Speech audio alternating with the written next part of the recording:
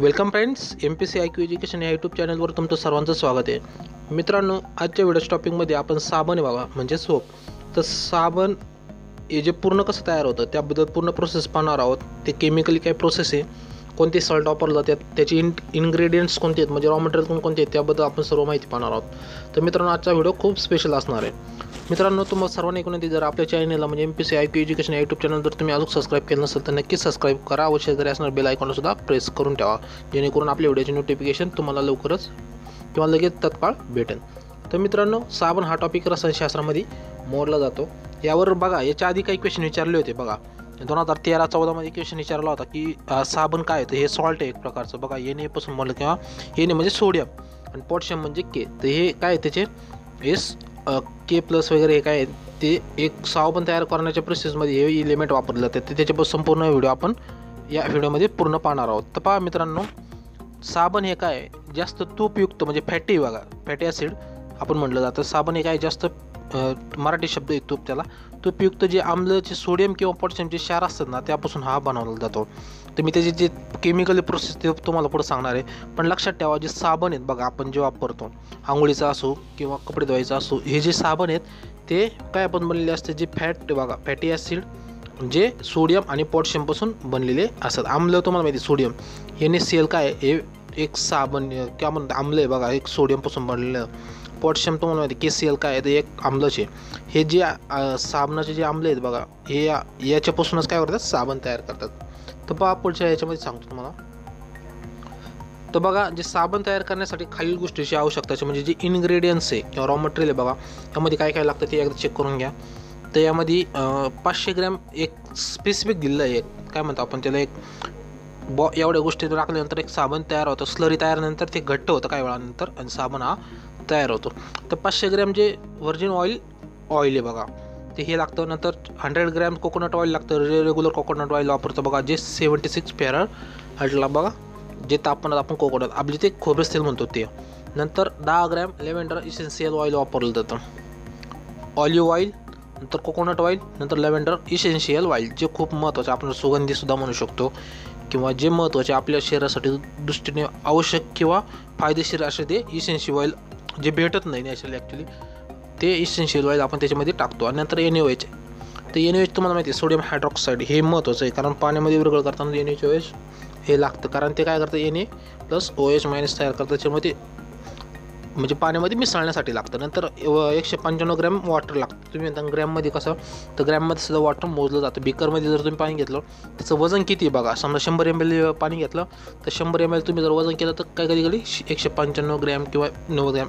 ज्याचे पान पाण्याची डेन्सिटी किती आहे त्याच्यावर डिपेंड आहे. कारण काही पाणी काही हार्ड वॉटर असतात आणि काही सॉफ्ट वॉटरसुद्धा असतात. फिल्टर पाणी म्हणतो आपण ते.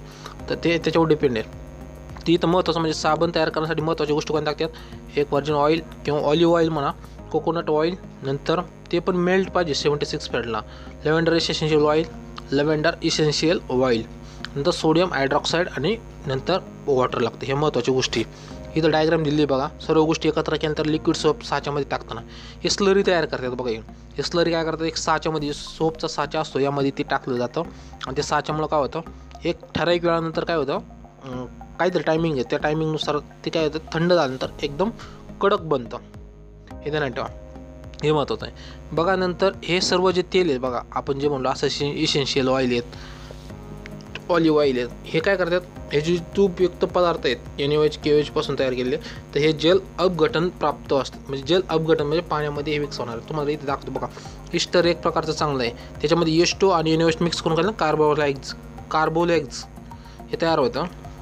आणि ते जे बाय प्रॉडक्ट निघतं ते काय निघतं? अल्कोहोल निघतं. ध्यानात ठेवा साबण तयार करताना जे सगळे रॉ मटेरियल टाकलं जातं यामधून अल्कोहोल हे काय म्हणतं? Raw material sorry by product निघतं. हे ध्यानात ठेवा. क्वेश्चन बनू शकतं की साबण तयार करताना शेवटी बाय प्रॉडक्ट म्हणून काय निघतं? तर ते अल्कोहोल निघतं.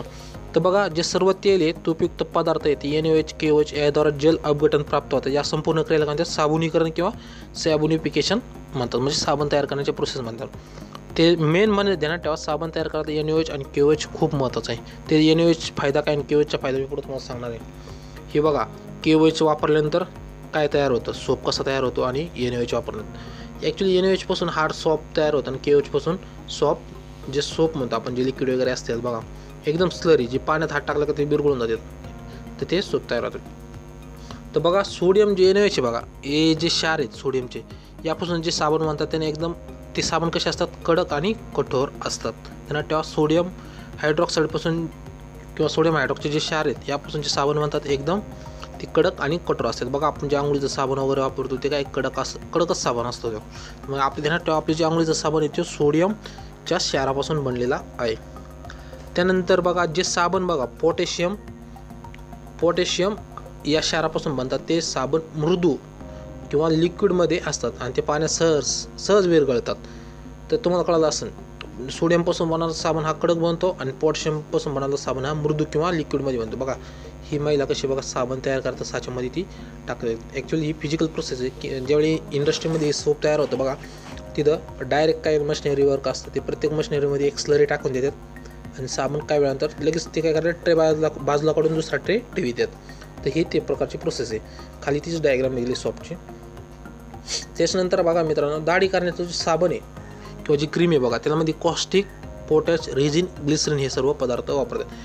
बघा हे मुद्दामून घेतलं जे आपल्या क्वेश्चन विचारतं दाढी करण्याच्या साबणमध्ये खालीपैकी कोणते घटक आढळतात? हे देण्यात ठेवा यामध्ये कॉस्टिक पोटॅश आढळतं रेझिन्स आढळतात ग्लिसरीन ग्लिसरीन मुद्दामून याच्यासाठी दिलं जातं की जेणेकरून तुम्हाला ते एक सॉफ्ट प्रोसेसनुसार जे ब्लेड आहे बघा ते ब्लेड सॉफ्ट वर्क करावं म्हणून यासाठी काय करतात? ग्लिसरीन त्यामध्ये टाकले जातात. किंवा यात जखम झाली तर ग्लिसरीन त्यामध्ये टाकल्यानंतर ती त्वचा मऊ होते बघा. तुम्ही जर दाढी केल्यानंतर जर ग्लिसरीन नाही वापरलं तर तुम्हाला खरबुडी वाटते. तर ग्लिसरीनचा उपयोग जास्त प्रमाणात सॉफ्ट प्रोसेस होण्यासाठी केला जातो. त्यानंतर बघा साबण हे पाण्यातील असणारे C O two plus M G two plus आणि एफ व्ही टू प्लस या क्षाराबरोबर काय करतं? अपघटन बनवतं.